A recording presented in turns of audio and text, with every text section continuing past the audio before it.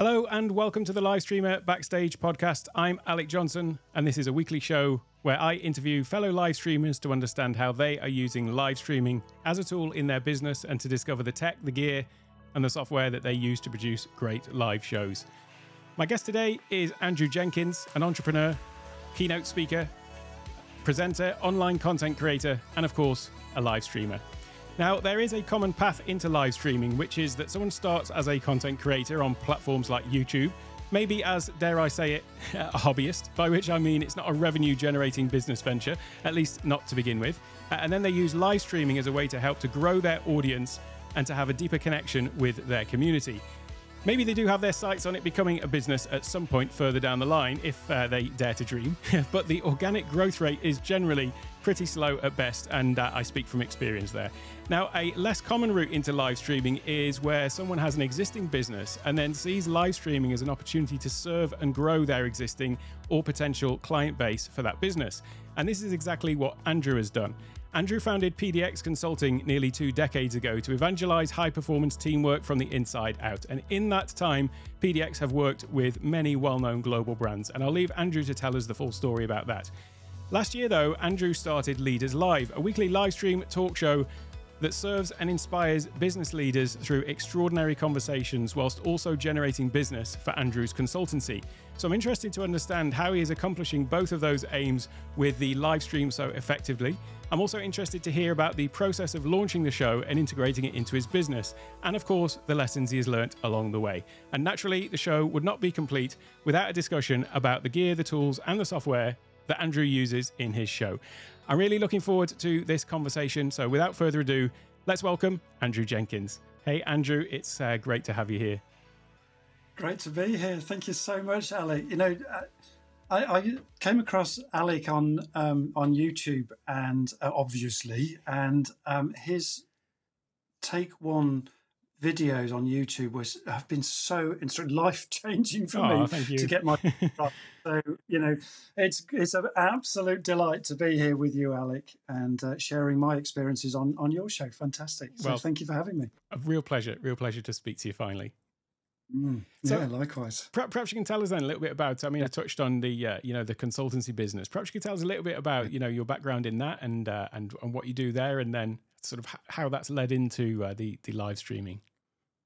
Yeah, pleasure, pleasure. So there's always a good story to everything, isn't there? And yeah. um, you know, my it's it's an interesting thing, isn't it? You know, when you you kind of think about, okay, so how did I get into live streaming? And it, it it's I love that phrase, that that that quote that kind of says, look, life can only be understood by looking backwards and understanding in hindsight, mm-hmm. but it has to be forward. So it's only when we look back we kind of go, Oh yeah, and it, it, was interesting. Sort of, you know, the questions that you asked me, um, Alec, about you know my background and what led you to live stream. That I suddenly glued it all together. I thought, oh yeah, it's like one of those aha moments. right, yeah. You know?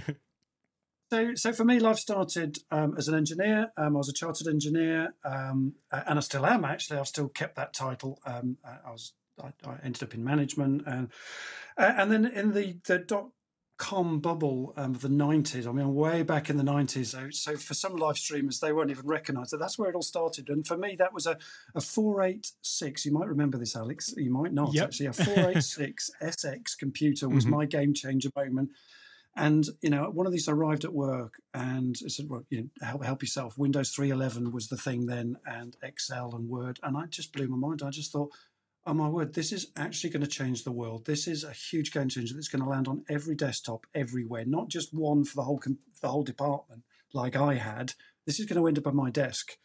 So for me, that was a real cue for me to flip my career. And I thought, well, I'm going to go from engineering. I read an MSc in, in IT. I'd already got a degree in engineering. So went to Nottingham University, reread, um, you know, oh, sorry, a second degree um, in the management of IT, and then flipped into the whole IT era and really enjoyed that. I mean, it was a phenomenal ride. The nineties were just amazing. That that tech bubble, um, that dot com tech bubble, you know, was was absolutely changing the world. You know, and it's still changing the world today, isn't it? You know, and it's rapidly changing times we're living through. But that tech bubble started, you know, in the nineties, and I joined it then. And once one thing led to another. I ended up in venture capital um, um, for a UK glo- a UK company that was globalizing and uh, IT was a big part of that and the investment strategy at that point. And then 2001, that bubble burst. Um, 2001, 2002, the tech bubble burst. Stocks and shares across the planet plummeted. Um, you know, uh, including venture capital in technology, just disappeared for mm-hmm. quite a few years before it came back. So at that point, that was the impetus, really, Alec, to start PDX Consulting because. Um, you know, my background has always been always been good with people. I'm a natural teacher. You know, I wanted to. I believe very firmly that the thing that will change the world coming up isn't just hard skills and technology, which which is definitely a game changer, but equally a second game changer is soft skills, um, you know, kind of emotional intelligence, high performance teamwork. And I was banging that drum 18, 19 years ago when I first started PDX consulting. So most people are now get out of here. You know, we just we're not interested in soft skills, you know, life changing skills or life enabling skills. We're not interested in that you know, we want hard skills. So it's quite mm-hmm. a hard sell at that point. And in some ways, you know, it was really taking a pandemic before we actually really understand, actually, we really need these things. So mm-hmm. I was mm-hmm. way ahead of my time at that point when I set PDX. So that that's a little bit of, of my kind of um, background. Um, so, and, and, you know, we talked about before the show we were talking about with the combination of experiences that that kind of lead a person to live streaming. And you mentioned earlier in your intro you know that quite often that's people start with content creation. And you know i think that's a similar story there. So for me combination of experiences one you know really good grounding in public speaking. Mm-hmm. I've been public speaking live audience these are in-person live audiences of, yes. of you know 100 200 etc do you remember those days when we used to be able to speak i, I, I remember going out sometimes yeah. it's like you know, uh-huh. wow you know and uh-huh. i loved the addiction of you know being in the moment when anything can go wrong right mm-hmm. and and you know and, and, things did and you have to recover from that in, a, in front of a live audience really enjoyed that and then for me content creation was a big thing um, and uh, blog writing. I'm an author, so kind of all of those things. I'll talk about that in a moment. And then you know, also having a passion um, for social media. You know what that means, how our personal branding, how our business branding you know, can be influenced hugely by you know social networking. For me, that was LinkedIn. I've since LinkedIn began in about 2003, I think. Um, I was a fan of LinkedIn, and you know most people were just seeing it as a CV writing tool. Yeah, I could see its future and think, do you know what, this is going to be a big tool. So I invested heavily in connections, and uh, today I've got about 30,000 connections, which is the maximum that you're allowed in LinkedIn. Right. So that's become my platform of choice. So you combine those three things up together, and then with a love of technology mm-hmm. and um, you know being in the moment and that whole live buzz thing. You know, you've got to be okay with being in front of a camera and those kind of things. Are skills that you've got to learn, right? Sure, sure. So that's kind of how I started that whole thing, Alec. You know, and and and really sort of being okay with video as well. That came a little bit later for me, but um, but content came first, Alec. Uh-huh. Um, for me, you know. yeah. And, and what, just, uh, what was the sort of what was the impetus then to actually, you know, what was the the sort of defining moment where you decided to start Leaders Live then, you know, to be a, a you know a, a, conduit, if you like, into what you yeah. all you were doing with PDX? How did that come okay. about? Okay, so I mean, I think that it's again, it's one of those things that you've got to look back to look forward, mm-hmm. and uh, that story starts probably about 2010 for me. Actually, when I did my first video shoots, never stood in front of a camera before. About 2010, and my web designer said, "Hey."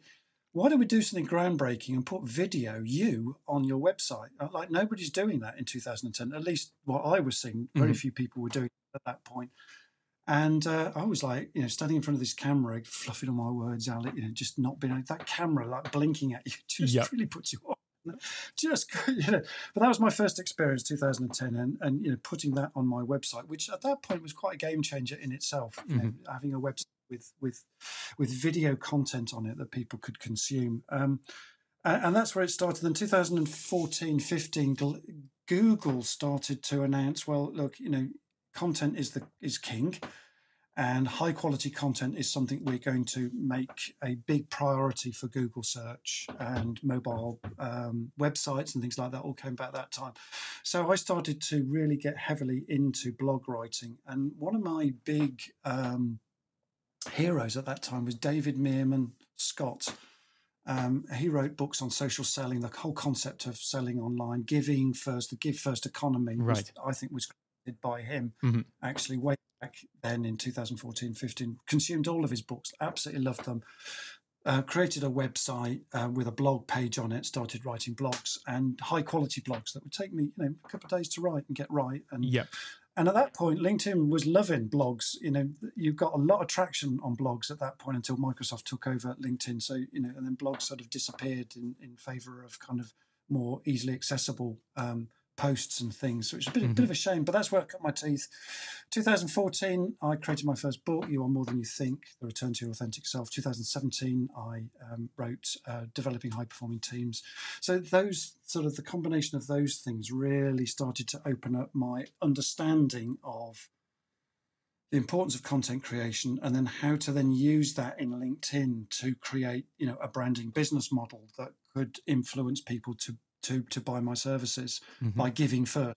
Yep. And essentially, I still get all of my business through LinkedIn, you know, and, and people that know me and those connections that I made many years back still are paying off today. You know, it didn't seem like it paid off at the time. You know, it's slow burn.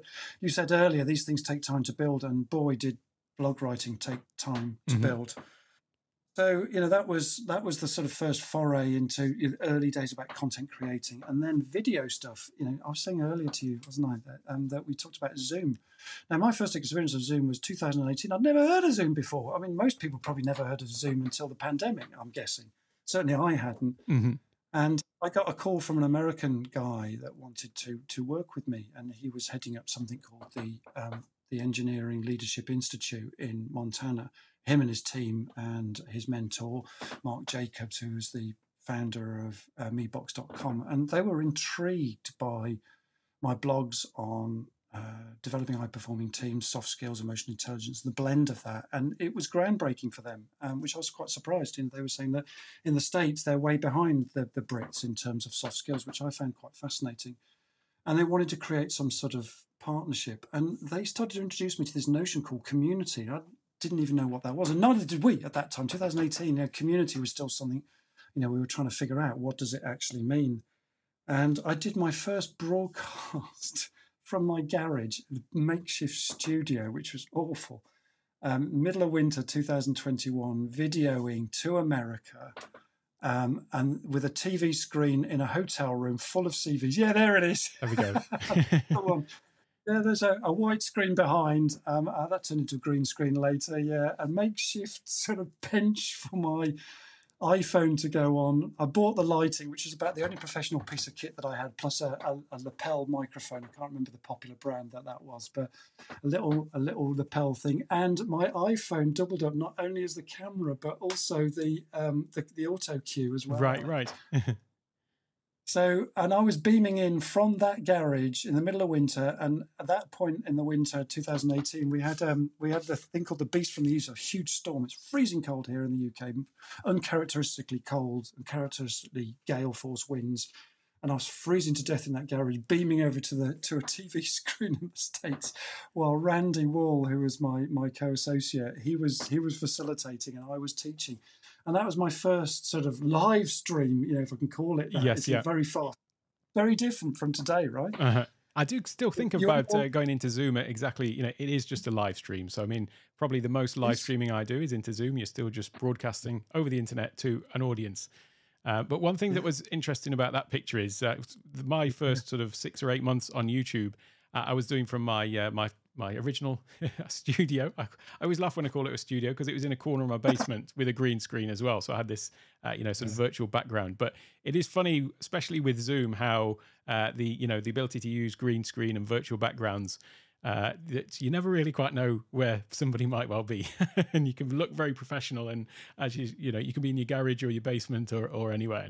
And It's, uh, and that was it, you mm. know, with a blanket over me. No one knew, you know. Yeah. but it came across, you know, and then, you know, in those days, you know, that 2018 seems like years ago, and it's only four years ago, but, you know, it was a it was a whole new it was a whole different world at that point and trying to live stream was groundbreaking and the, the interesting thing alec that the video stream held up all day yeah not bad uh-huh. you know considering that was iphone camera and a mac Air, MacBook Air, not a very powerful one at that yep. point. It was already a few years old, and the Wi-Fi held up all day from my place all the way through to you know Montana, you know, in in the US. So, and we they the, the you know we were teaching online at that point in time. So that was way before the pandemic. Yeah. Um, yeah, yeah. So that was my first foray into into videoing.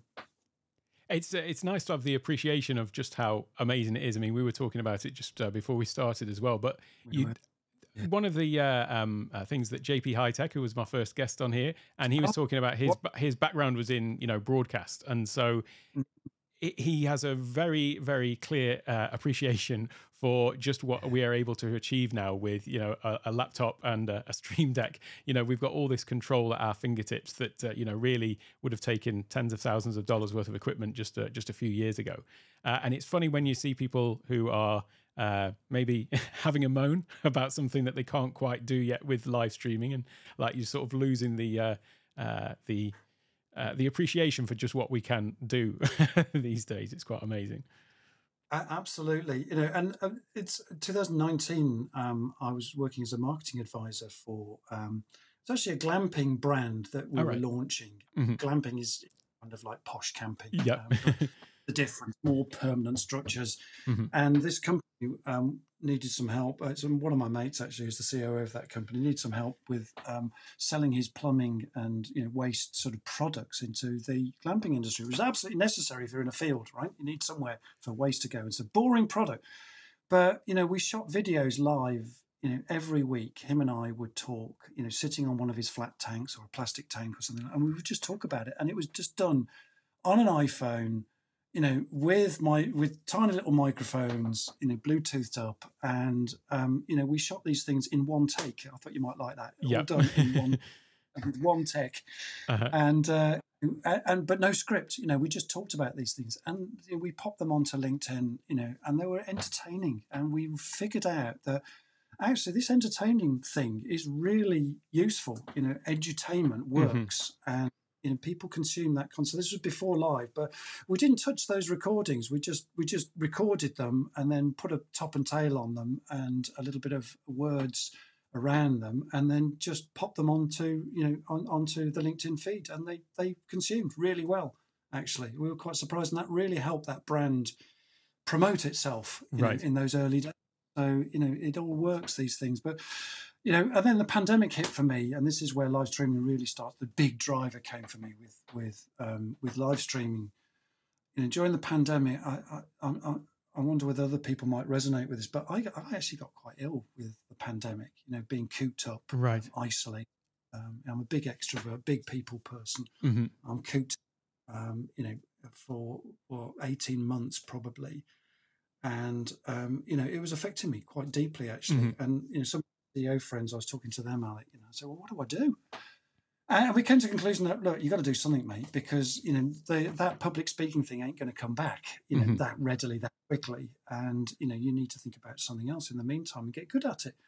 So that's when I stumbled into live streaming, and um, that was a revelation for me, Alec. You know, I picked up um, Laura Petrucci's oh, yeah. videos yeah. Mm-hmm. um, on and you know, she was like amazing, and her team, you know, she's got a great team around her. And I really learned a lot from Laura and um, Tom Burke and you know Kat um, uh, Mulverhill um, and people like oh and of course Adrian Salisbury. You know, yeah, yeah. Um, I, actually, I actually met him in person during the pandemic. Oh, really? Uh, with every, yeah, yeah, we were all messed up and everything, and uh, oh, fantastic. And we had conference with Glenn and Ken, yep. you know, and the team with Kate and all the rest of it. So I got to meet the team as well. Oh, great. Got a free T-shirt always important. Oh, you got to get the free T-shirt in, yeah. yeah, we get a free T-shirt.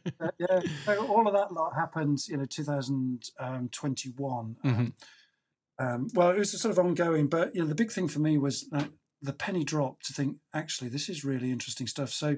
I said to my FD, who happens to be my wife, which is probably the hardest FD to work for in the universe. Look, I need, I need about seven thousand pounds to to invest in some kit. Mm-hmm. You know, microphones, software, hardware. You know, I started to build a list. Um, and, and you know, funnily enough, she she actually said, "Yeah, but Andrew, it's got to wash its face, right? Yeah. because I ain't going to buy it, but that isn't is just for your pleasure and convenience. This has got to wash its face, got to pay for itself. So that was mm-hmm. the challenge. So that okay, fine, you know. So she agreed to the investment, and you know, it was up to me then to make it pay. Yeah. So that was the challenge, and um, I went live with Laura's team in. Uh, she has a thing called Leader. Oh um, right, live yes. every day, April. Yeah, and I did that 2021. Brilliant, and it really helped me to get confidence in front of a camera, you know, start to find my own personality, get okay with that that green blinking light that's Mhm. you know, just blinking at you and not freaking out at a camera. And, and that was just fantastic for me. You know, that month really helped me. And the great thing about Luria's team is that they said, look, no big tech, you know, no Ecamm, no, no, you know, Rodecaster Pros, no, no big sexy microphones. You just go raw with an iPhone and just, you know, you go from there. And that's what she taught me. And I just thought that was a brilliant um, introduction to to live streaming. So by the time May 21 came along, you know, I'd already sorted out Leaders Live as, as a name. And um, I went live using my iPhone because I didn't have a LinkedIn license at that point. Right. Um, I wasn't using Ecamm right there and then, so straight onto Facebook Live. Um, you know, straight from just using Facebook Live, not even restream, just straight there. Mhm. And you know, the moral of the story is you don't need all the kit to start out. You know, I was still learning how to use that kit and gluing it all together. It took, that took me a few months before that that caught up, and I could then have the confidence to put Ecamm and cameras and audio all together. You know, it's a big thing, isn't it, Alec? You know, Yes, trying yep. to get all that. lot- Uh-huh. so so for me it was it was iphone led to begin with you know then i got my linkedin license and then you know i started to foray into oh i need this thing called restream and so i used started to use restream and hooked up to linkedin and then dared to go multi-streaming you know Mhm. that was the next level so and then it just evolved from there really alec And so you mentioned a, a couple of things in there. First of all, about Mhm. Leader. Uh, one thing I'll say about Leader is I, I did it in um, August of last year. Um, I was quite comfortable with going live, but I thought, well, it's it's a challenge to go live every day in August. It's just like another little thing to sort of get that practice in. What I hadn't realised when I started was actually just how structured it is. Uh, and you mentioned there Yes. about you know starting on the iPhone and then uh, there's like a progression that you go through during it, and it's just a really well um, a well thought out program to sort of bring people Right. out of their shells and you know actually get them confident on camera. There's another thing you mentioned though about um, how obviously you've got a you know background in public speaking, so standing on fr- in, on a stage in front of you know hundreds of people is no issue.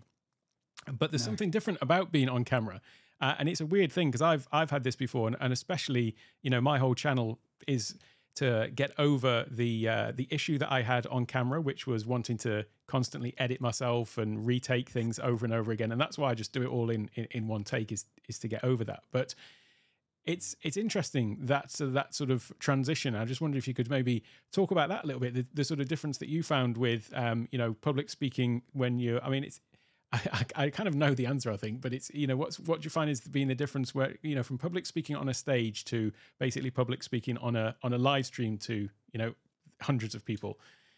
It's, it's a different experience, isn't it? But It, is a great question. And just to backtrack just a little bit, you talked about being on uh, Leaders Live August 21, you said. I was a moderator then. So I was moderating that. oh one, right, right. um, Uh-huh. Just to kind of get, well, what's the experience of moderating? So Yeah. um, Luria invited me to be a moderator. So I thought, yeah, I'll do that for sure. And Uh-huh. then um, I, I also loved your the thing that you talked about um, uh, and your strapline, recovering perfectionist. Uh-huh. You know, and just just I, I, that that just tickles me because you know when when you're speaking in public, it's not always perfection. You know, some Mhm. some people can pull off a beautiful public speak and remember all their words in their head in sequence and get it all right. I'm I'm not one of those people Mhm. actually. And for a while, public speaking, when I first began back in 2006, you know, I was frightened stiff of what happens if I forget my words. Mhm. And you know it's a it, it, was massive for me you know um I, as a kid i struggled a little bit with um a stutter um and other things and the the the, the fear of going public Mhm. and saying stuff in front of people live um you know in person was was you know, pretty petrifying actually. But what i learned was that you know what you can build rapport with people and people are really forgiving and i might be in front of an audience and i, I kind of suddenly stop and i go now do you know what? I've just forgotten my next sentence. Mhm. now we, for some people that would be entirely embarrassing because you know they've got to be perfect in front of their audience Mhm. right? A pitch perfect, everything. For me it was like so what did I say a few moments ago? And someone in the audience will help you out. And Yep. go, you said this. Oh, yeah, yeah. Or if I still didn't remember it, I'd say, right, what a teacher once told me to take two steps backwards. And once you've taken that second step backwards, you will remember what you've forgotten. And Mhm. generally speaking, I used to say that in front of the audience, and they would come along with me because everybody loves someone that's not perfect Yeah. right? And that was a really pivotal point for me where I could I learned that the best way to be on stage is just be me. And if that means I forget a word or I stumble over something, you know, I will say, right, that all came out wrong. Let me have another go at that. And people would actually be really okay with that in a live audience because you're real and you're mm-hmm. authentic. And my first book was called, um, you know, You Are More Than You Think: The Return to Your Authentic Self. So, you know, that was for me was demonstrating authenticity. If you're not completely perfect, it doesn't matter. So, you know, on camera, for me, the I have to say, I had to get over that weird feeling of staring at a camera and Yeah. being okay with it. hmm And that is a bit weird because you've got no one in front of you. Where with an audience, you can connect with someone eye contact wise. You know, you can nod with them as I, as I've just seen you nod. I can then nod with you. You know, and if you're in the audience, I can catch your eye. I can see what the mood of the audience is. You know, and I can gauge stuff and Mhm. work out. You know, where I am with the audience. But sometimes, you know, you might get that wrong too because you know they might just be really still and just listening to you, and you've got no feedback whatsoever. Yeah. Same with the camera. You know, there's nothing that actually comes back the other end, which is actually quite disconcerting. But what I've learned is that you know you can build rapport with an audience, and even when things go wrong, you know, you use the that things go wrong. And actually, Luria Petrucci is an expert at that. You know, she would quite often say, oh, you know, there's no way I'm a perfectionist here, and stuff goes wrong, and she just laughs it off Yes. Yeah. and the audience go with her. And that's what I learned really is go with it. It doesn't matter. You know, I, we were talking earlier that, you know, I've had the phone ring right in the middle of a session and it's right behind me, this phone, and I can't not answer it, right? Mhm. So I just have to stop the live audience and kind of go, do you know what? This is one of those moments where when you go live, things go wrong. And at the moment, the thing that's gone wrong is this telephone ring in the background. So I'm just going to have to pick it up. And I bet you it's my mother. So I just made a joke of it. Funny enough, it was my mother. Um, so I switched it off, but then the answer machine came in, and it's like, you can't make this stuff up, you know. How the hell do you? And I just brought the audience with me at that point. And you know, when it came to, I, I asked my my regulars, well, what should I do with this? You know, how do I, how do I get over this? You know, do I, you know, how do I cut this out of the the the Ecamm recording, the live recording, restream recording? And you know, to a person, you know, my, my team just said, and the per- people listening, doesn't matter. It was great, Andrew. We all loved it. hmm You know, and what I've learned is that if you're real with people and you give a lot of yourself, um, then building community is is it's about being inclusive with other people. It's not about you. So when Yeah. stuff goes wrong, it's actually not about you. It's about the audience being able to support you. And I've found time and time again when stuff goes wrong, the audience will support you, Yes. Yeah. and that's what. I learned. Uh-huh. I was, I mean, I was watching your live stream earlier, just uh, about two hours before we started here, and uh, your guest on there was talking about, you know, when uh, being being real, basically, and um, you know, if you if you try to be something other than you are, when in this context, you know, if something came off the rails, then it would it would soon come out. So you better just being being yourself all the way through. I, I think so, and Yeah. I, I think there's power in that. Mhm. And you know, what? How many zooms have you been on where the cat suddenly turns up Yeah, and yeah. walks on the keyboard? You know, Uh-huh. and it happens in live streams. You know, you get helicopters come over. I've had that happen. People mow lawns, and the, the doorbell rings, and the postman knocks, and all of these things happen. And it only seems to happen when you go live. So the Yeah. more you learn to deal with it and learn to laugh at it, and it's not about perfection.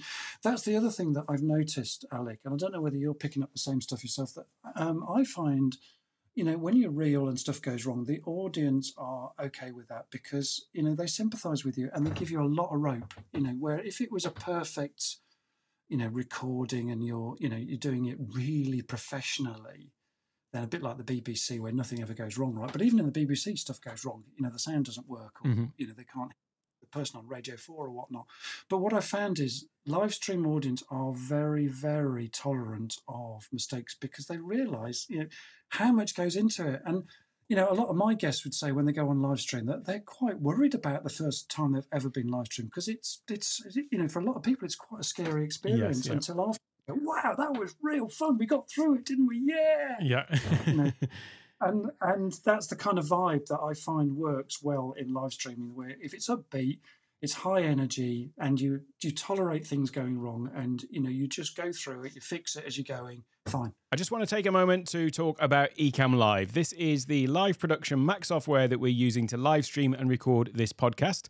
In my opinion, it is the best live streaming and recording software on the market today. So, what exactly does it do? Well, essentially, it allows you to control the content that you're including in your video, be it a live stream or a recorded video. And you do this by building out different scenes that contain the content that you want to show. This content may be a feed from your camera or indeed multiple cameras, or you may be sharing a screen, which is what I do a lot of in my tutorial style videos that I make for my Take One Tech YouTube channel. You can share the screen from a second computer or maybe even a gaming console if you are a live streaming gamer. And just as we are doing in this podcast, you can also bring in guests using Ecamm Live's built in interview mode, where guests can join from a browser and you can then incorporate their video and audio into your production. Finally, you can add all kinds of additional graphical and animated overlay elements and even movies to really add a level of branded professionalism that would be hard to achieve in any other way. The real magic happens though when you hit that record or go live button because then you are able to seamlessly switch back and forth between all of the scenes that you've created. And indeed, this is how all of the videos have been created for my Take One Tech YouTube channel. And the reason it's called Take One Tech, by the way, is because all of the videos are made in one take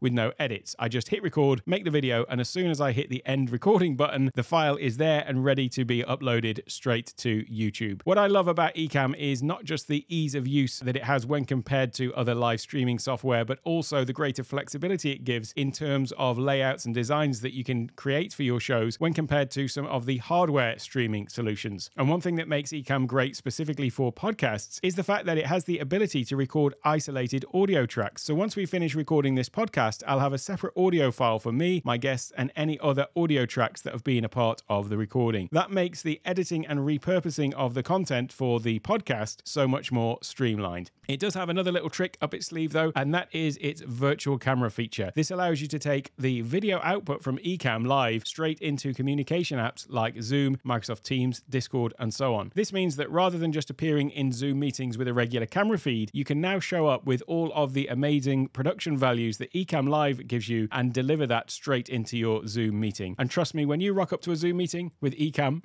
the other participants will be truly amazed. So whether for live streaming, recorded video content, or to level up your Zoom game, I highly recommend you give Ecamm Live a go. You can get a free trial by going to takeonetech.io slash ecamm. That's E C A M M. Takeonetech.io slash ecamm. And of course, you can find a link to that in the show notes as well. You will certainly not regret giving it a go. Now, let's get back to the show.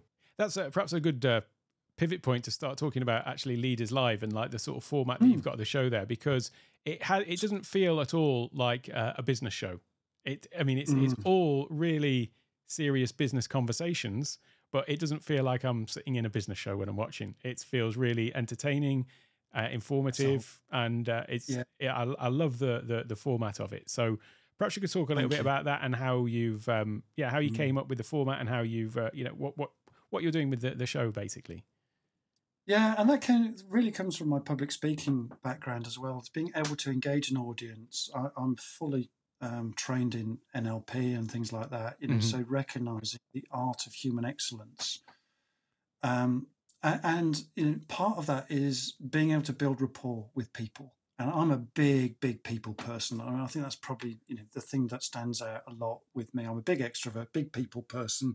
I'm a natural teacher. Um, you know so those kind of things really help me to engage with an audience. So purposefully you know i wanted leaders live to be engaging. I wanted it to be edutainment. I wanted it to be fun um, and you know spreading the love really. We use those kind of words you yes. know I, I mean i use quite loose words when i'm in um, uh, Leaders Live, we talk about groovy, you know, be there or be square. We've got these kind of strap phrases, you know, bibbity bibbity bobbity boo. You know, there's kind of all of those little fun things yep. that just interject in in between times. You know, little phrases that we say, and and one of the things that I've been very uh, mindful of with Leaders Live, it's not about me. This is building a community of mm-hmm. people. That's first and foremost. This is about a community. It's not about me. It's about a community and you know, two or three of, or several of my members would probably say, you know, my community would say, actually, the thing I like about Andrew's show is that it's fully inclusive. Mm-hmm. You know, mm-hmm. when we're talking, we try to include everybody. We get a lot of live comments um, coming through, which I engage with. Um, I introduced a moderator into the show um, about February 22. That was really successful. Where it's Mhm. again, it's not just about me. You know, we've now got more interaction, um, and we can have a bit of fun on live. You know, when when um, one of my one of my um, guests once said to me, "Oh, you caught me on the hop," because I asked him what's the audience question. He said, "Oh, you caught me on the hop." And Birdine, the Uh-huh. moderator, pop- says, "We love doing that. We love it when we catch you on the hop." And it was just spontaneous. You just did it in the moment, and Yep. it was just it, such a, a laugh. You know that we just, and that's the thing. You know, we laugh through the show. We have some fun with it. We, um, you know, we bring people up in terms of the comments. We we honour people's comments, and uh, people enjoy the format. And it's we we roll like that really. So the whole thing is about spreading spreading the love about business and making business fun and not stuffy and Yes. boring. Basically, Uh-huh. Uh, so that that was really the concept of it. Um, um, Alec, sorry. I was just going to say you mentioned about having the moderator, but yeah, just to Mhm. clarify, they're they're like on the screen as well. So I really love Yes. that that aspect of it. You know that she's there on the screen and uh, like you say, just fully in, in, included in the the process. So yeah, Yeah, So- and she's just got more and more engaged with the whole thing, you know. So she'll come out with her own views, and we have a, another slot called "Get to Know You in Five, which happens in the intermission period, where we just bring on a regular, yes, um, you know, uh, someone that's been starting to become part of the show. We want to welcome them, and we want to put well, we see a comment from Jake or from Jack or whoever, you know, but we don't know who they are. We might be able to look them up on Leaders Live, but we've never seen them. So, Mhm. you know, get to know you in five slot is literally a five minute interlude where we introduce you know one of our community guests we talk a little bit about their business. We have a bit of fun in terms of you know what's your superpower? What Yeah. five strengths do you think you've got? You know what's your favorite film? What's your favorite band? You know and all that kind of stuff. So we can just get to know them. And you know we have a little bit of banter. So we've got Yeah. all these windows open. We've got the moderator. We've got the um We've got the get to know you in five guests, we've got the real guest, and we've got me, and we're all in these little windows, and we're all kind of communicating with one another. Yeah. And you know, I might say to Jackie the guest, "What do you think about what Jake's just said?" And then Birdie will pipe up, and we have this little discussion for a little while, and the chat goes bonkers while we're doing that. And uh, you know, people talk about all sorts of things. We had someone who's a Man United fan, and that just started a thread of conversation. right. it was all about Man United. It was like, now come on, get back to the show, folks. yeah. It, it really does make So- a difference to be, you know, like I say, to have you all on on screen. It uh, it, it it really does create this uh, this atmosphere that's really quite unique on uh, you know on on business live streams. it's yeah, it's really really effective. and and that's that's how we roll and that's how we want that's purposely how we're set it up to do Yep. exactly that you know and um, i found that people engage with it and you know the whole point is to build community and Mhm. you know one of the things that you've introduced me to alec is this whole notion of you know have you got a followership that you can then do something with and you you introduced me to this notion of discord and and keely dunn was talking about this the other day on your show and Yep. she's a absolute master Mhm. at uh, Discord, and you know, between the two of you, I thought, oh, you know, love that idea of backstage rowdies. Which you know, I have to say, you know, thank you, Alex. A great idea having a Discord, opening a Discord room up before the show to allow your VIP guests and community just to hang out with you. you know? Yeah. And at that point, you're setting up the show. We're having a coffee. We're trying to get the audio fixed. There's kind Yeah. of like stuff going on. And Uh-huh. our audience are really tolerant with that. You know, they just come along with us, and it, you know, they're having a cup of coffee, they're having a chat together, and we're just hanging out. And that's part of the language which, we, which we've introduced with Leaders Live. We're hanging out. It's a chat. It's not a talk. Mhm. It's not an interview. You know, we hang out, we chat, we have a, we have some banter. You know, we we we have interludes. Um, so all of those things have have come up in Leaders Live, and then you know, it was a natural progression for me to kind of go, okay, how do we evolve this? So I brought a board team around me. That was the serious stuff. So uh, my wife said, you still haven't made any money out of this yet. So, so you better start making some money out of this. Um, which, um, so I brought a board team around me to keep me sort of focused in terms of, look, you know, this is a business model. You know, um, yes, we're building community. Yes, we're giving first. Yes, we're being very inclusive. But actually, at some point, this has got to find some sort of way of of you know working out you know how how that how that pays for itself now Mhm. luckily, you know, I get phone. The, the, one of the reasons I do this is because actually it, it, it does promote people to then contact me and kind of say, "Hey, I saw you live on show. Can you do my team day for me?" And I do a lot of those things, and that's brilliant. So that keeps Sarah, my wife, off my back right. when she says. How much is it earning? So I have actually paid back all the investment that I've spent on, right. on leaders so far so uh, that that's been helpful. And then getting a sponsor was was one of the things that we talked about as a leadership board team. Is well, let's let's bring on a sponsor. Yeah. And your DMS are my sponsors at the moment, and they've been absolutely fantastic because he is an advocate of the show. Is Jack Jack right. Wright, who's the sales director. Your DMS, quick shout out for him. Uh-huh. Um, and you know he's made that possible. So you know, and and it helps his brand too. So you know, we're being inclusive by helping other brands as well. Mm-hmm. And I, I mentioned that you know this sort of underlying theme of this uh, this particular mm. episode was about how um, you know using the talk show to generate business for you know your consultancy and the things you're talking about now. But really you wouldn't know it to look at it. You know you do put up a thing at the end with your details and uh, you know but you could blink and you miss it. So there isn't any sort of heavy sales in there. It's it's totally the sort of give first uh, philosophy. It's just such a yeah such a valuable resource. I, I think so. And that, that you know we, we tried getting a little bit more product focused and we noticed our you know the, the audience drop off at that point. It's not salesy you know the mm-hmm. point is we make we you make it interesting. And the great thing you know business is full of really interesting topics and mm-hmm. they you know the things we kind of tackle are you know real front of mind. You know i'm just just looking at some examples. I forget we talked about vision boards at one point. Mm-hmm. you know what a fantastic thing to talk about and we had a lady talking about and she was an absolute darling.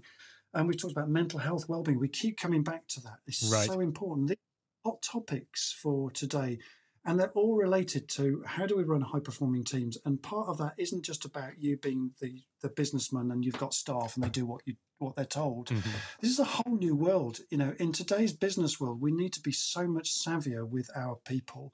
And we're part of a team. You're not just an employee anymore. You know, it's their choice to be with you at that moment in time to be working in your business. So treat them well. So things like you know mental health, um, you know well-being, customer service. We did today. We talked about resilience. We've even talked about legal issues, which you think would be really boring, mm-hmm. but we did a called Legal Issues 101. We've done it twice so far with uh, um, Thashora, one of my mates, Th- Thashora uh, Polpataya, who's a brilliant lawyer and really makes stuff fun. He's really engaging, you know, and brought legal stuff to life. And it's like, oh, okay books, you know, talking about book writing, blog writing, you know, stand up desks we talked about, breath work, you know, uh-huh. all of those kind of things, mindset, attitude. We're going to talk about crypto at some point, you know, with um, with uh, Sophia Schluger, you know, who's a who's a brilliant investor in crypto, fascinating right. area.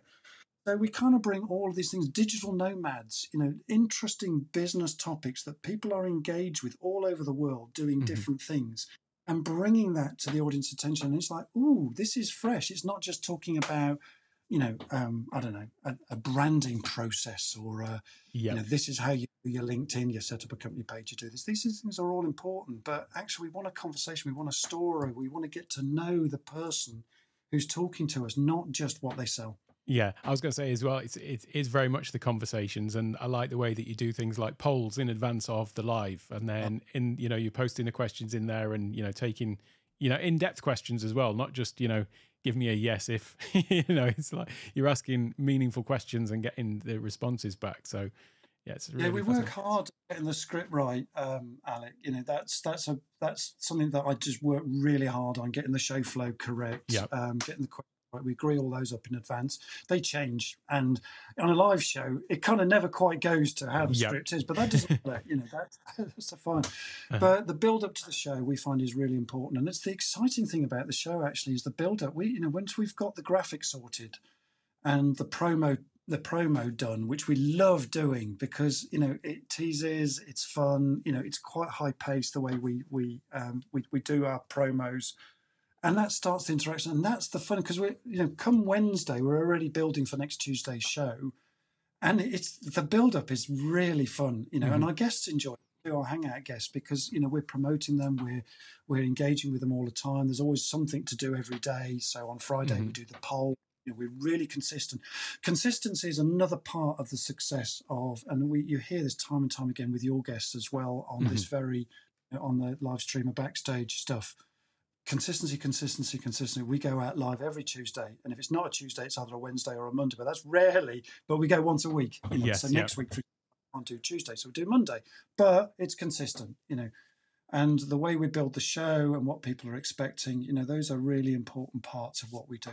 hmm Uh, per- perhaps we can. Um, I'm just noticing the time here. Perhaps we can talk, talk Yeah. about the sort of uh, tech side of stuff because I always Uh, like to save time for uh, talking about the tech uh, setups that we've uh, we've all got. And uh, I'd love to hear a little bit more about. Um, we've already seen your sort of the the starting point, so it's gone through like an evolution, just as uh, we all have. Um, and maybe just talk through like uh, how you've got things set up at the moment. I can bring up a. Uh, I took a, a picture. You Yeah. s- sent over a video, but I took out a still just so that people can uh, have a look. Okay. If you are watching on the uh, uh, or, or listening on the audio, then uh, there'll be a link to go and see the, the video if you want to come and have a look at the uh, the the still here. But perhaps you can sort of talk through this with with audio in mind. in terms of Okay, your yeah, of course, by all means. So um, I like a clean setup. You know, I know I I'm fascinated, like you probably, Alec. You know, and, and all of your guests are fascinated by what's the tech behind it. Yep. Now, I like a I like everything really clean. I don't like jumbled up mess. Um, yes. Um, at the moment, this is slightly too jumbled even for me. So you notice two screens there. I want to get a um, one of these, the Apple Studio Yeah. um, monitor. Hmm That that's my, that's my aspiration. So it replaces these two because it's big enough to have all, all my screens all at one one uh, one place. So I, I can sort of tidy up even more. So you can see I've got the Elgato live stream there. I've got an iPad, which is the second screen, which is running Discord, um, Mhm. which I'm still trying to figure out um, the audio pieces to that. On the on the main screen, you can see there's Ecamm running there. On the top of that, I've got a Sony V a ZV1, um, which at the time when I invested in the the hardware for this was the camera of choice at that point. Mhm. And I know ZV10's out, but do you know what? It's a it's a blooming good camera, the ZV1. Uh-huh. And you know, I often say to people, look, if they want a starting point, get the ZV1. Brilliant, and it's cheaper than the ZV10. But you know, and and it's it's really good quality. Yep. Underneath there, you can just see in the background there. Um, there's a there's a Mac Mini um, underneath the um, uh, the desk. It's a stand-up desk, by the way. Yeah, it looks lovely, and uh, I, I love the, the the clean aesthetic. I uh, mine's a little bit cluttered today, but uh, I like to have a nice, uh, nice, clean, uh, clean, minimal uh, look to things. I can't cope unless it's nice and tidy. So you know, no wires or very few wires. In front of you, the round lamp is it's actually a sad lamp, but it's very high um, lux, which um, keeps me sane during the winter. I do struggle with the winter blues. Right. So that, that's there for that. And because the studio's in, in fairly darkness, you know, that, that just sort of the brightness on from for me anyway. But also, you know, it's a nice bright light. I've got the soft, the the you can see there, um, the soft lamp, Yep. um, which I invested in when um, I was doing my zooms in 2018. That's a backdrop from that. Um, Yep. I've got another one behind me. And those soft lights are just brilliant. Those soft boxes, I love them. They're just they're big, they're awkward, but I love the light from them. They're beautiful. The softness of the light is just, you know, it just softens the facial features. Really like that. So um, you can see my microphone there is actually um, it, it's a a Samson CO2, I think. It's a condenser microphone. And Right. the reason for it being condensed now, I know a lot of people go for the Shure. Is it the Shure Seven or something? Uh, uh, SM7B is a popular one, or SM yeah, yeah. dynamic microphone. I love the sound from that, but I just don't want a great big chunky microphone in front of me. And that's Right. the last thing that I want. And I know that's a look that a lot of live streamers like. I I actually happen to not like it at all. So right. it, I took ages choosing this this microphone. Now they came in a pair, which made it even good because I've got two offices, so I could I could set up a duplicate office right. elsewhere with the microphone. And during the days of RCP one, a Rodecaster Pro, um, I had an inline amplifier FetHead on this to Yep. boost the gain on this um, particular microphone. And I've got um, what do you call it, screen in front of it to to get rid of the S's Yes, and yep. things like DSP screen. Great. I mean, and um, and an Elgato um, stand on it as well. Oh, it's actually a Samson stand. And then my my prize of all things is the audio um, RCP. And, uh, and back in the day, I bought the RCP one fairly early on. took me ages to scratch my head on figuring it out. But when you've had audio issues and you've had slap back, you know, which which is effectively an echo that you just can't seem to get rid of when you're live streaming, and you don't want your guest to have to wear earphones. I wanted another solution, so I found that the Rodecaster was the only viable solution that could give me two things. One, it gave me um, audio processing, which I love. So you can start to process the voice a little bit. Um, you know, live, which I love. So there's no post editing here. It's all done live, which yep. I love. So the Rodecaster gave me all that and um, gave me gain, and more importantly, gave me a thing called mix minus, which I know you talk a lot about on your show, and that that just got rid of my echo issues just in one go, and it was like, oh, groundbreaking. And then the RCP2 came out, and it's like, oh, oh, I've got to get that. and uh, so, but my excuse was to my FD was, well, look, I've got a, I've got another office which I do get echo problems with because I've I've only got the Scarlett two one two there. Mm-hmm. So actually, now that the RCP two comes, I can put the RCP one in my my sister office, and then this one, the RCP two.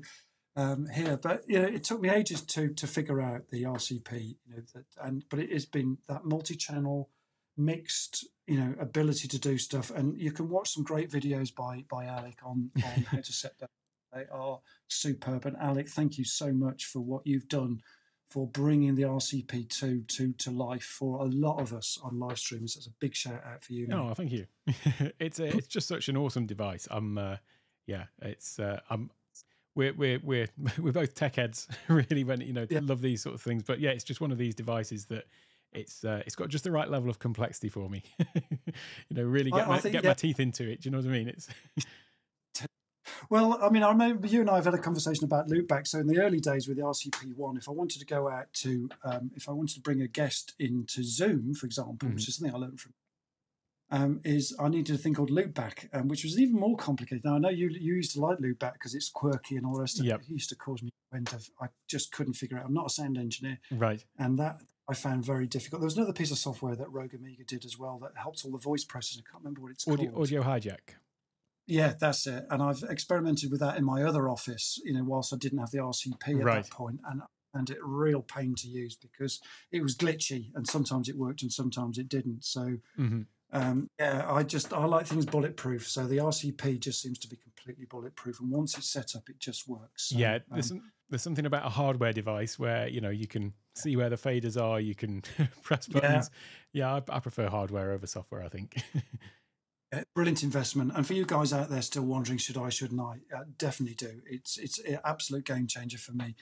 Um, I've got the Elgato Stream Deck, the, the, the XL version of that. I think it's called the XL, um, which gives me lots of buttons to press, which is really handy. And you know, I can't do without that. Alec, I know you've got the foot pedal. That's going to be a next investment of mine, the foot right. pedal. But it's hard when you're standing up because I stand up at my desk, so I'm standing yep. it right now. Mm-hmm. You can't see underneath my feet here. I've got um, I've got a balance board, so it's quite a flat board, but it helps me to. I find this is one of those left brain left brain right brain things that kind of just helps me to integrate left brain right brain together.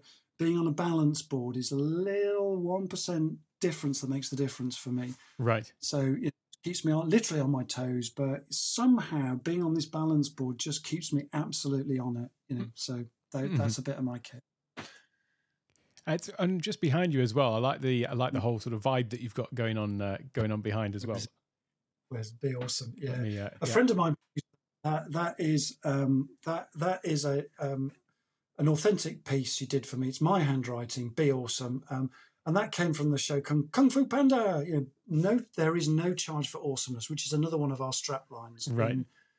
Leaders Live. So the be awesome thing um, is is important for me. No charge for awesomeness, and then of course all the the Lego stuff. I mean, I love the RCP two. You know, my childhood is is Captain Scarlet. Apollo Eleven was massive. The Daleks, Star Wars. Underneath it, you can't quite see it because it's black. Is um, um, the Batman mobile, yep. various toys of my childhood, you know, the Daleks, Batman, and things like that are all part of my my upbringing, and um, I want to just weave those things into the show. And the reason for that is that the perfectionists, the ones with a real eye for detail, now they're the ones kind of looking behind the show and kind of going, "Oh, oh, you've got a Captain Scarlet, yeah. you know, or oh, a Black Dalek, you yeah. know." So it's for those that like looking, and I, I put those little details in for people to spot.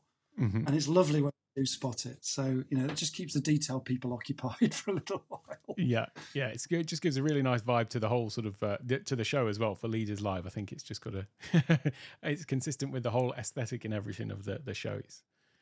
Yeah, that yeah, and we've I've worked hard at trying to get the aesthetic right and the colours and things like that. You know, make it funky really, which is part of how we roll on Leaders Live. Yeah. Funky. now, I always ask them um, about it for a, a, book recommendation, and uh, oh yes, I mean I've included uh, your books obviously in the carousel for those watching on Amazon. Uh, but uh, yeah, perhaps you can tell us about your your book choice because this is one of my favourites as well, actually. Yeah. So, so for me, the thing that got me started in personal development was when I was in my thirties, and I picked up this. It, I was ashamed of it actually because it was a personal development book, and you don't pick those. It's like it's like picking porn up in the in the shop. You just don't do it. You know, you don't do personal development. So, I picked this book up called The Seven Habits of Highly Effective People, which is one of those self help books. And back in the day, self help was considered a little bit like, well, you know, come on. Um, but I just found Stephen Covey's Seven Principles of Highly Effective People just absolute groundbreaker. And it was like one of his stock phrases, which I mentioned in today's show actually, is yep. seek to understand before being understood. And, you know, that is so true of, of our business practice as well, is that we often, in the lack of information, we make assumptions. And I love the way he talks about breaking assumptions by really deeply understanding people and you know getting to what's really going on. And if you understand what's happening with one of your customers you know good or bad then you you know you can you, you can you, you, can help them. I remember one of my customers talking about another one of my favorite books is the which was mentioned the other day on your show which is the give first economy. Mm-hmm. brilliant book you know where we give first. And you know this is where um, stephen covey was talking about too. You know i remember um, a director uh, that I'd met for the first time doing some business, and I was he said, right, tell me what, you know, why am I standing in front of you? Because I don't see people like yourself, and yet I'm standing in front of you. My my secretary said you've got to meet Andrew. He's brilliant. He's a lovely guy. You know, so here I am. Convince me. So I started to talk about the the stuff that I sell. You know, no, don't want that. No, not interested. No, don't want that anyway, I just I then just relaxed with him. I just kicked back and said, you know what? I've been um, I'm a fully qualified hypnotherapist. Not a lot of people know that, and I'm actually really good at it. And suddenly I saw him interested, and we just had a conversation about hypnosis. And he said, "Would you help me? Because I've got an issue that I want to sort out, you know, and but I can't pay you right now." And I said, "Don't worry, you know, we'll just do this." He said, "I'll book the room. He'll book it. He'll pay for the room and you know pay for coffee and stuff, but." You know, I would give my services to him, you know, as, as a free of charge thing. And I just lied the guy. So I just, of course, three months later, I, he booked me two or three courses doing NLP for sales and for his HR team. And he recommended me to lots of other people as well. And, you know, that course just kept on giving because of, of one free thing that yes. I gave to somebody. Mm-hmm. So that's what I learned from the Seven Habits of Highly Effective People, and you know, putting first things first, and you know, planning ahead, and good time management skills, and you know, all of those things really help. So those seven habits are just brilliant. And that book was written in what the early nineties, mid nineties. I can't. I think yeah, mid nineties. You know, what a fantastic, brilliant book. And you know, unfortunately, he's died now. But you know, he was an amazing character, and really, that book's gone around the globe. Mm-hmm. You know, I was looking. I think it's 70 million copies sold. They're onto the, uh, the, something anniversary edition. When I was just looking at it to put it in there, and it's yeah. Uh, but it's funny you say that was the first sort of self development book you uh, you you read as well because uh, I make notes about books when I read them, and I got out my uh, my old notebooks, and this is uh, notebook number one, and the wow. first book is the Seven Habits. so it was the the first one that I read as well.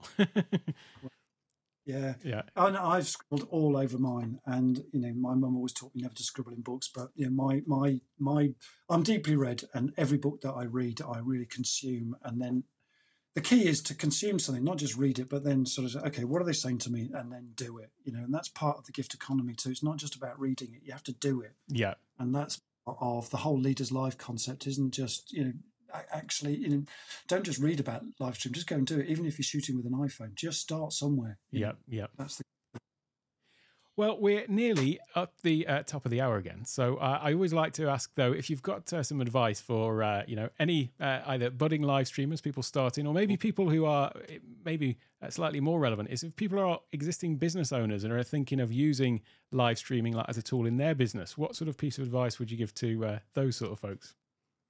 Okay, four things. Okay, first of all, um, be brave. You know, just do it. You know, we just talked about that briefly. You try new stuff. Take a risk. You know, these massively important.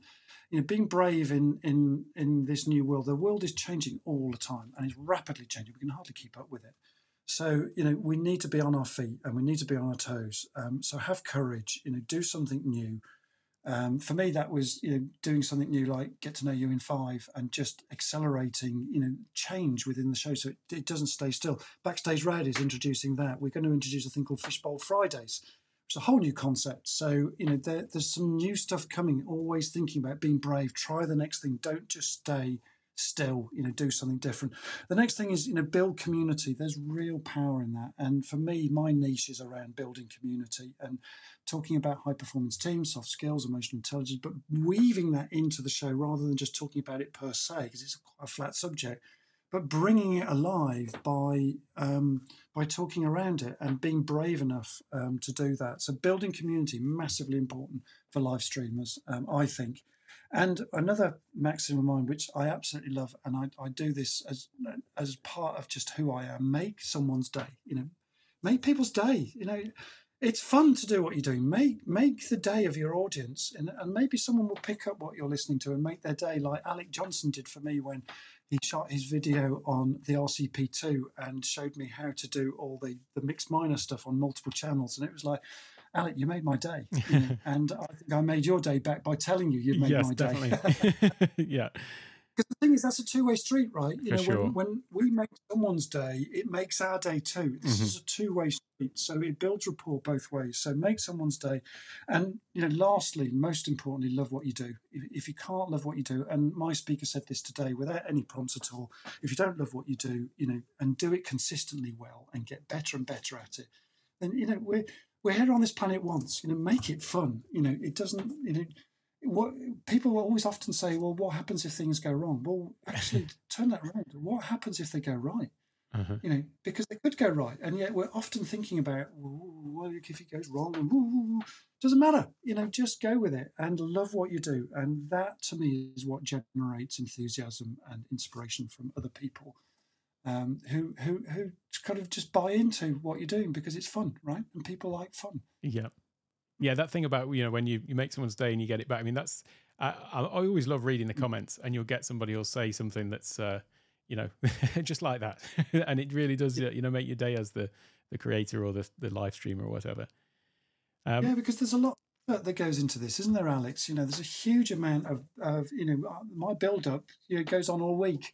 uh-huh. And so they're always doing something um, towards the show, you know, and it's so little things like buy me a coffee and then just making that fun and people Yes. then buy your coffee. It's just great, you know, when that happens because it's a bit of double feedback. You know, they they enjoy doing it because they're saying thank you, but Yeah. I enjoy seeing that, you know, Alec has just bought me a coffee. How cool is that? yeah yeah it's a really a really cool thing um, i've left links obviously to everything that you're doing in the description and in the show notes for the uh, for the podcast as well but perhaps you could just tell us like where's the uh, the sort of best place for people to connect and also maybe about uh, sort of leaders live exactly uh, when is that and uh, uh, how they can uh, they can find you and so on. I'm just bringing up the uh, website, obviously, for uh, people watching. yeah, brand brand new website. Um, we still haven't totally populated it yet. The idea was let's just go live, and you know, um, in, in fact, this is a this is a first version of this. This is a um, this is built in um, it's built in Squarespace, oh yes, but yeah, we're built another website right now because we couldn't get all the complexity we wanted with Right. Squarespace.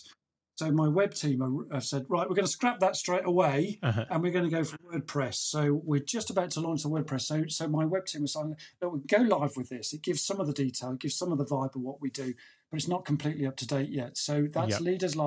leaderslive.tv, and that will be changing dramatically Mhm. over the next week or so. So we thought, well, we'll go live anyway, with the spirit of going live. Um, but it's but it's not done yet. So um, you know we've got plenty more to add into that. So as you can see, some of the live shows are coming up here on the uh, replays on demand and things like that. These are some of the old shows.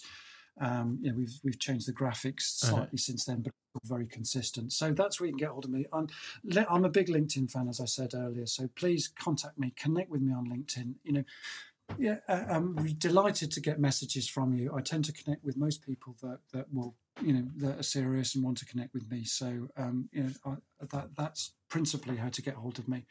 And you can get hold of me on my other website, which is PDX Consulting as well, which is um, pdx-consulting.com. There it is, uh, which is my other website. So yeah, this is uh, this is all about high performing teams and other teamwork facilitation events that I do, and it's lots and lots of detail there. Um, So there's lots to find out and videos and, and things like that as well. All about high performance teams, NLP, sales, operations teams. You know, I work with all sorts of teams. So that's a little bit about me, folks. Great stuff. Well, as I say, I've left links to all of those uh, different places you can uh, uh, connect uh, in the uh, in the show oh. notes in the description. And yeah, and you said where I am is Tuesdays. Oh yes, forty-five UK time is Leaders Live. Sorry, Alec, I just forgot that. Yeah, me too. Fantastic. Um, yeah. So, uh, and did, did, have you got another another show coming out, or was it? Am I getting confused with? It's just you have an extra. I think I might be getting confused with the extra slot you've got in the middle of the existing show. so, uh, we've got another show coming out called Fishbowl Fridays. Oh, um, right. We're, we're organising that, which is a little bit more. It's it's a bit more in depth. We're going to do that to a, a sort of a VIP exclusive group, right? Um, right. That we're at the moment, which kind of goes a little bit behind the scenes. Uh, we talk about demos and we get kind of into more the, the steps and the processes behind things and some of the products. So um, it's it's a little bit more detailed oriented. But the Fishbowl Fridays we're really excited about. We we haven't we haven't launched it yet, but we're hoping to launch sometime in October. So that's watch this space. Great stuff. that's where we're headed. Well, thanks so much for uh, joining me. It's been a, a, a, pleasure speaking to you finally, face to face. We've had a lot of back and forth before this, but uh, yeah, to actually uh, to speak in person, so to speak, is uh, yeah, been really really great, and love to hear your uh, your story. Thank you. Thanks ever so much, and thank you for having me. And um, thank you to your wonderful audience. Thank you very much. Thanks a lot. Well, that is it for this episode. In the next episode, I'm going to be joined by Steve Worthy. Steve is a retail leadership coach, a podcast coach, and a live stream expert and a content creator who helps uh, leaders and podcasters grow and multiply their influence. And we're going to be talking about how to create masterful promotional strategies for your live streams and podcast with promotional content that's actually engaging and valuable to your community. How about that for an idea? This seems like uh, just the sort of thing we've been uh, talking about today as well. But it's sure to be another insightful conversation as always. Uh, so look forward to uh, seeing you then. In the meantime, have an absolutely wonderful week ahead.